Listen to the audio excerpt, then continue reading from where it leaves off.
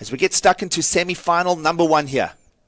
Yeah, Gigs, it's been an exciting morning. We've got that southerly wind coming up, making things a little bit bumpy, but the good news is the swell is still around. The tide has dropped out, and we have seen some pretty big scores through the morning going into semi final number one. Jack Freestone has been in great form, and of course, a finalist last year at this event. Well, maybe. Jack's comparing it to a very quickly run Oi Rio Pro. I mean, the boys landed in Brazil, and before you knew it, the event was over. Let's have a look here at Jorgann Couzinet goes to the air. Little error there early on from Jorgann. You cannot afford to do that against Jack Freestone. And if you want to go to the air, a good wave that came through. That was, a, was that was a pretty poor wave. So you're kind of confident when the wave's not not too good. But sometimes, most of the time, guys look at the scores and make it a dramatic finish. So um, you, you're kind of holding on and, and waiting to see what happens. All right, a very happy Wade Carmichael. He's going to try and do better than our national cricket team did last night against the locals. We're going to see him in the semi finals a little bit later today. As we see this replay of the 5.0 from Jack Freestone, really cool, calm, and collected as he just works it down the line. Pretty much a carbon copy of one of his waves this morning as he just drives that beautiful vertical turn over the section into the carve. Doing well just to get a little bit of expression on the. See Luke Thompson, the youngster from uh, Durban, coming up in the expression section later. Well, here goes Freestone establishing wave number two of the opening semi final. Nice little jam here. The Australian just quick back to work. I've often felt that Jack Freestone really is kind of cruisy at the best of times. Yeah, love the first turn. You see that little drop knee off the top of the turn, just getting the power extension. Does it again and flows straight into the closeout maneuver. And uh, the judges are rewarding that with a 6-3-3. Let's have a look at what Jorgann brought for us. Well, he took off on this one. Already eyes way down the line as he looks for somewhere to project. Goes up for a little float over the top. It's not going to get much score off of that one. And then goes for the big closeout hack. And I think he may have underestimated the outgoing tide. And I'll talk more about that as we just watch Jack Freestone here using priority. So this, Jack likes the look of this one. Lovely end section hit there, just sort of cat like holds onto it. He's almost like a jaguar, he's like a panther. Little steak place down the road, but I'm pretty sure that him and Alana and their kid are all vegetarians or vegans. So he's been on a really healthy diet.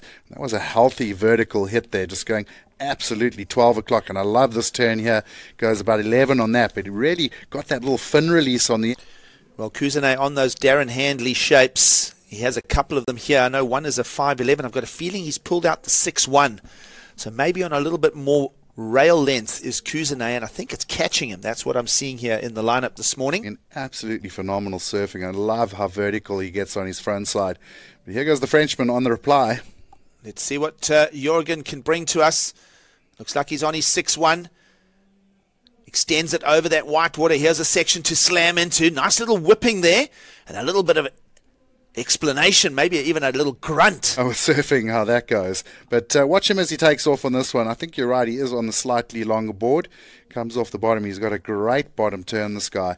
Goes into the little hook. And then this wave kind of goes a little wonky on him. So he works it down the line. Another little floater. We haven't seen too many scores going on in the float. This is a great turn there. He really drops that back arm, pulls the tail around. Very flexible in the hips and knees. And Well, priority play here. Couzinet must give way to the higher priority of Jack Freestone. Freestone goes, No, I like the look of this. I feel that you could threaten my lead. And Jack Freestone quickly posts a fifth ride here in the semi finals. It's a mid range five. Well, we watched Jorgann there, Gigs. He had to pull strongly out of that one as Jack paddled in. First turn was nice, just a little big wraparound. It's this turn that will get the points though, and he really did project right over the section there. Gets a clean little rotation out, and that was some great surfing. Well, you mentioned uh, that Jack uh, was just looking back at the judges there for something. Here he goes, just quickly at work again. 0.7, so a block becomes an improvement in numbers. Now here's the opportunity, Jorgann Couzinet. Big hammer again and he's liking that one. So it's game on here inside the final 90 seconds. And where is wow. this heat going to go? Because a slight improvement, it wasn't a big improvement for Jack Freestone, who had to play a block, but then handed the priority to Couzinet. Let's look at the replay here. This was an exciting wave. He was under a lot of pressure takes off straight into the bottom turn, not quite at the bottom of the wave, but he gets a nice little hook off the top over the lip into another massive bottom turn there, and then really laid into that. He had to pull the turn a little short gigs because that lip was bottoming, bottoming out on him. Well, I'll go the other way just for the discussion. Waiting on scores here as semi-final number one wraps up now. Did Jorgann Couzinet meet the requirements of a 597 or not? We're hanging on this. We'll answer that for you when we come back from the break and we head into semi-final number two of the Ballito Pro.